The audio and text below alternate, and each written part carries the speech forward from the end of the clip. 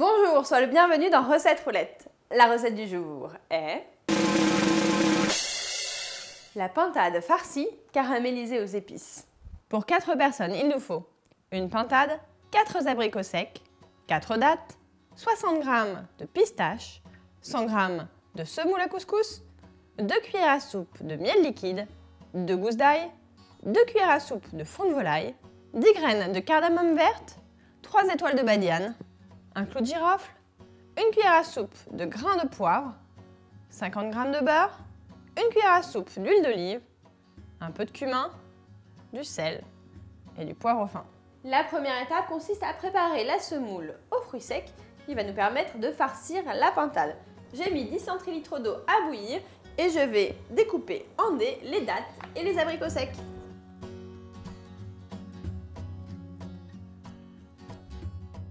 Je verse la semoule dans un saladier, je sale, je poivre, je couvre avec l'eau bouillante, puis avec un couvercle et je laisse gonfler 5 minutes. Je vais maintenant préparer le bouillon aux épices dans lequel va cuire notre pintade. Pour cela, je vais commencer par hacher l'ail.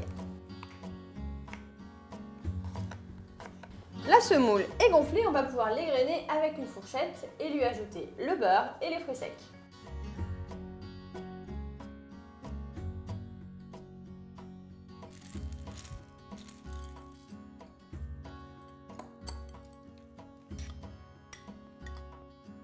Tu dois te dire que cela fait une sacrée quantité de beurre, mais n'oublie pas qu'en fait cette semoule, on va la mettre à l'intérieur de la pintade et qu'elle va servir à nourrir les chairs pendant la cuisson pour que la pintade soit bien moelleuse.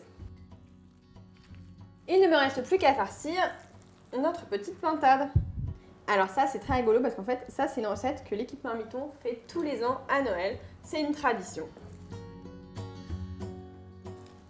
Donc du coup moi je voulais savoir si toi aussi tu avais une tradition, est-ce qu'il y a une recette que tu fais chaque Noël si c'est le cas, dis-le moi dans les commentaires, je compte sur toi. Pour maintenir la pintade fermée, on va utiliser des petits pics en bois et une ficelle. Voilà, en fait, la, ficelle, elle va nous servir à garder les ailes bien collées contre la pintade.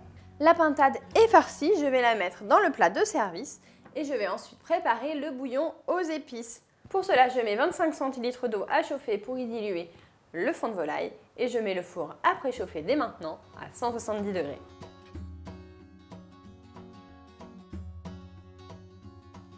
Je vais faire torréfier les épices et pour cela je vais mettre d'abord de l'huile à chauffer dans une casserole. Tu vois les graines de cardamome elles se trouvent à l'intérieur donc ce qui est bien c'est de les écraser légèrement avec la main pour faire ressortir les petites graines.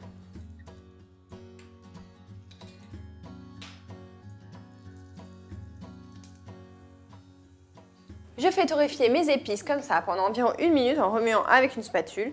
Et ensuite, je vais pouvoir ajouter le reste des ingrédients, à savoir le miel, le fond de volaille et l'ail.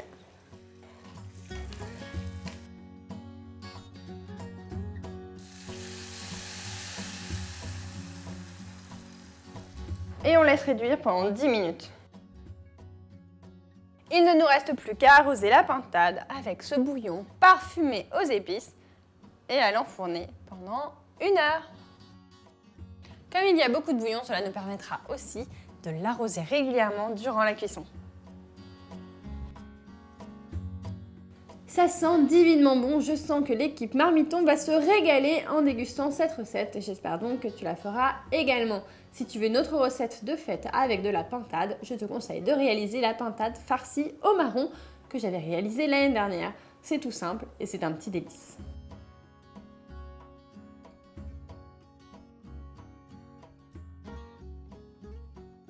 Je te donne rendez-vous demain à 11h pour une nouvelle recette. Et si tu ne veux pas en rater une miette un conseil, abonne-toi à la chaîne Marmiton.